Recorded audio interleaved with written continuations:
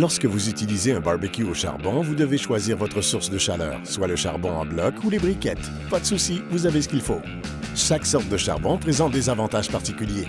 Le charbon en bloc de forme et de taille naturellement irrégulière est la sorte de charbon la plus pure et ne contient aucun additif. Il s'allume facilement, cuit à une température plus élevée et produit moins de cendres que les briquettes, ce qui est pratique si votre grill n'a pas beaucoup d'espace pour les cendres vos aliments auront la saveur fumée délicieuse associée au barbecue au charbon. Les briquettes sont fabriquées des petits morceaux restants lorsque le charbon en bloc est formé. Des additifs sont utilisés pour faire tenir le tout ensemble et créer des morceaux de charbon. Les briquettes ne sont pas aussi chaudes que les blocs, mais elles durent plus longtemps. Votre décision dépendra de ce que vous voulez faire griller et du temps de cuisson.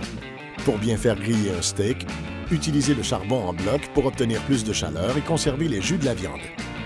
Par contre, les briquettes sont idéales pour faire griller le poisson, pour faire cuire les filets de porc lentement ou pour cuisiner pour plusieurs personnes. Vous pouvez combiner le charbon en bloc et les briquettes pour profiter de tous les avantages.